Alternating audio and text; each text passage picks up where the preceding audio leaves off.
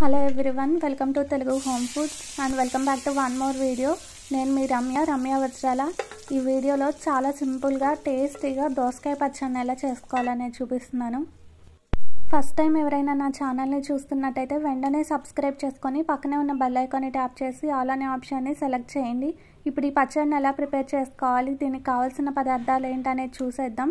వీడియోని ఎక్కడ స్కిప్ చేయకుండా చివరి వరకు చూసేయండి.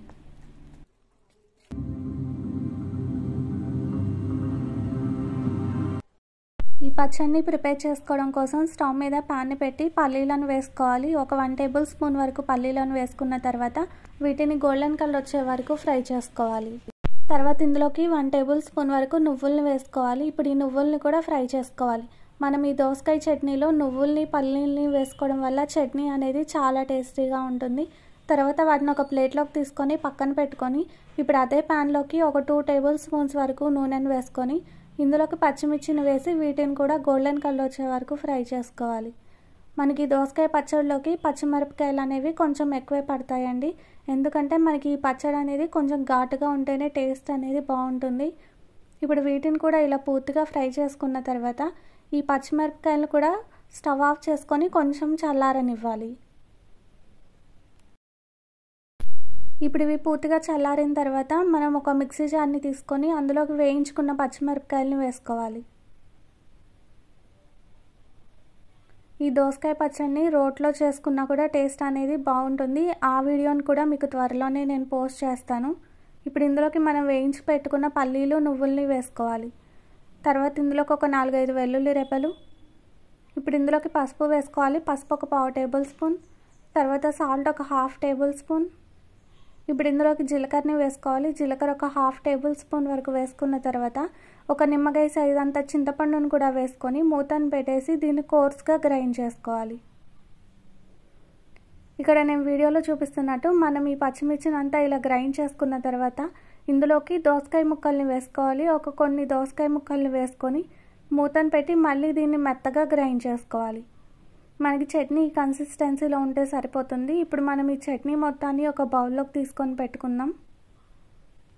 ఈ దోసకాయ చట్నీలో ఈ దోసకాయ ముక్కల్ని వేసి మనం ఇలా గ్రైండ్ చేసుకోవడం వల్ల చట్నీ టేస్ట్ అనేది బాగుంటుంది. ఇంతవరకు ఎవరైనా ట్రై చేయకపోతే ఒకసారి ట్రై చేసి చూడండి. ఇప్పుడు ఇందులోకి కట్ చేసుకున్న దోసకాయ ముక్కలు అలానే పైనుంచి ఒక మీడియం సైజు ఆనియన్ని కూడా సన్నగా కట్ చేసి వేసుకోవాలి. ఇప్పుడు దీని మొత్తాన్ని ఒకసారి బాగా కలుపుకున్న తర్వాత ఈ చట్నీకి పోపును పెట్టుకోవాలి. స్టవ్ మీద ప్యాన్ పెట్టి ఆయిల్ వేసుకోవాలి. ఆయిల్ హీట్ అయిన తర్వాత తాలింపు గింజలు ఒక రెండు వెల్లుల్లి రెబ్బలు ఒక నాలుగైదు ఎండుమిరపకాయలు కొంచెం కరివేపాకు వేసి ఫ్రై చేసుకోవాలి. ఇలా ఈ తాలింపు మొత్తం బాగా ఫ్రై అయిన తర్వాత మనం ముందుగా చట్నీని బౌల్లోకి తీసుకొని పెట్టుకున్నాం కదా ఆ బౌల్లోకి ఈ తాలింపు మొత్తం వేసుకొని మొత్తాన్ని కలుపుకొని దీన్ని వేడి వేడి అన్నంలోకి సర్వ్ చేసుకుంటే ఎంతో టేస్టీగా ఉండే దోసకాయ చట్నీ అనేది రెడీ అయిపోతుంది.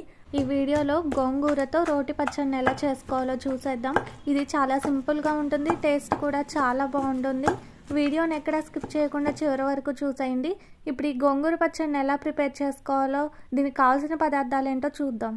గోంగూర పచ్చడిని ప్రిపేర్ చేసుకోవడం కోసం ఇక్కడ నేను గోంగూరని పెద్ద కట్టలు ఒక రెండింటిని తీసుకొని వాటిని నీట్గా క్లీన్ చేసుకున్న తర్వాత నీట్గా వాష్ చేసుకొని ఒక గిన్నెలోకి తీసుకొని పెట్టుకోవాలి. ఇప్పుడు ఈ గోంగూరని ఫ్రై చేసుకోవడం కోసం స్టవ్ మీద ఒక ప్యాన్ని పెట్టుకొని అందులోకి ఒక టూ టేబుల్ స్పూన్స్ వరకు ఆయిల్ని వేసుకోవాలి. ఇప్పుడు ఈ ఆయిల్ కొంచెం హీట్ అయిన తర్వాత ఇందులోకి పచ్చిమిర్చిని వేసుకోవాలి. ఇక్కడ ఈ పచ్చిమిర్చి ఘాటు లేవండి అందుకే నేను కొంచెం ఎక్కువే వేస్తున్నాను. ఘాటున్న మిరపకాయలు అయితే మీరు కారాన్ని బట్టి వేసుకోండి. ఇప్పుడు వీటన్నిటిని గోల్డెన్ కలర్ వచ్చే వరకు ఫ్రై చేసుకోవాలి. ఇలా మధ్య మధ్యలో కలుపుకుంటూ ఈ మిరపకాయలన్నీ ఈవెన్గా ఫ్రై అయ్యే వరకు ఫ్రై చేసుకోవాలి. చూసారు కదా మనకి మిరపకాయలు అనేవి బాగా ఫ్రై అయిపోయాయి. ఇప్పుడు మనం వీటిని ఒక ప్లేట్లోకి తీసుకొని పెట్టుకుందాం. ఇప్పుడు ఇదే ఆయిల్లోకి మనం వాష్ చేసి పెట్టుకున్న గోంగూరను కూడా వేసుకోవాలి. ఇప్పుడు ఈ గోంగూర మొత్తాన్ని ఇందులోకి వేసుకున్న తర్వాత మొత్తాన్ని ఒకసారి కలుపుకొని మూతను పెట్టేసి ఈ ఆకు మొత్తాన్ని పూర్తిగా మగ్గనివ్వాలి. ఇలా ఒక టూ మినిట్స్ తర్వాత ఆకు అనేది మనకి మగ్గడం స్టార్ట్ అవుతుంది కదా దీన్ని కలుపుకొని మళ్ళీ మూతను పెట్టేసి పూర్తిగా ఉడకనివ్వాలి.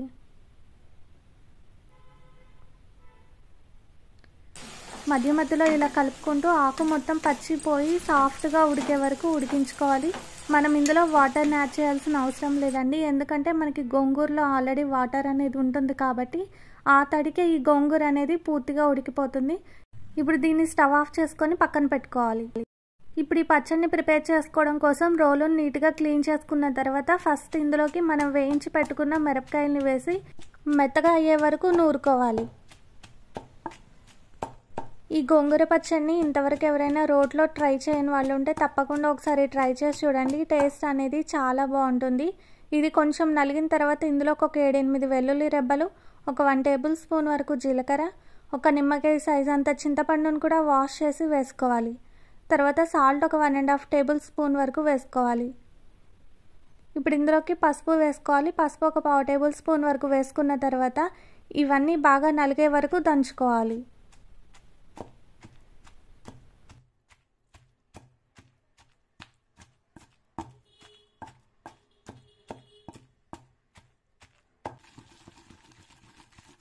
మనకి ఇదంతా మెత్తగా నలిగిన తర్వాత మనం ముందుగా వేయించి పెట్టుకున్న గోంగూరను కూడా వేసుకొని ఈ గోంగూర కూడా మెత్తగా అయ్యే వరకు నూరుకోవాలి.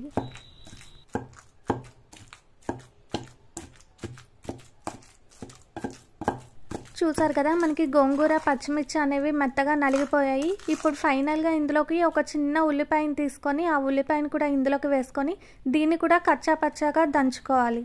ఈ గోంగూర చట్నీలో మనం ఉల్లిపాయను వేసి నూరడం వల్ల పచ్చడి అనేది చాలా టేస్టీగా ఉంటుంది. ఇంతవరకు ట్రై చేయని వాళ్ళు ఉంటే తప్పకుండా ఒకసారి ట్రై చేసి చూడండి. ఇప్పుడు ఇదంతా మనకి బాగా నలిగిపోయింది కదా దీన్ని ఒక ప్లేట్లోకి తీసుకొని దీన్ని పోపు పెట్టుకుందాం. స్టవ్ మీద కళాయిని పెట్టుకొని అందులోకి ఒక టూ టేబుల్ స్పూన్స్ వరకు ఆయిల్ని వేసుకోవాలి. ఈ ఆయిల్ హీట్ అయిన తర్వాత తాలింపు గింజల్ని వేసుకోవాలి. ఇప్పుడు ఇవి కూడా కొంచెం ఫ్రై అయిన తర్వాత ఒక ఐదారు వెల్లుల్లి రెబ్బలు ఒక ఏడెనిమిది ఎండుమిరపకాయలు వేసి ఫ్రై చేసుకోవాలి. ఇవి కొంచెం వేగిన తర్వాత కొంచెం కరివేపాకును కూడా వేసుకోవాలి. ఇలా ఈ తాలింపు మొత్తం బాగా వేగిన తర్వాత స్టవ్ ఆఫ్ చేసుకొని మనం ముందుగా నూరి పెట్టుకున్న గోంగూరలోకి ఈ తాలింపు మొత్తాన్ని వేసుకోవాలి. ఇప్పుడు దీని మొత్తాన్ని కలుపుకొని వేడివేడి అన్నంలోకి దీన్ని సర్వ్ చేసుకుంటే ఎంతో టేస్టీగా ఉండే గోంగూర పచ్చడి అనేది రెడీ అయిపోతుంది. ఐ హోప్ ఈ వీడియో నచ్చితే తప్పకుండా ఒక లైక్ చేసి మీ ఫ్రెండ్స్కి రిలేటివ్స్కి షేర్ చేయండి. ఇలాంటి tasty and simple quick recipes కోసం తెలుగు హోమ్ ఫుడ్స్ ఛానల్ని సబ్స్క్రైబ్ చేసుకొని ఫాలో అవ్వండి. పక్కనే బెల్ ఐకాన్ ఉంటుంది కదా దాన్ని కూడా ట్యాప్ చేసి ఆల్ అనే ఆప్షన్ని సెలెక్ట్ చేయండి. Thanks for watching.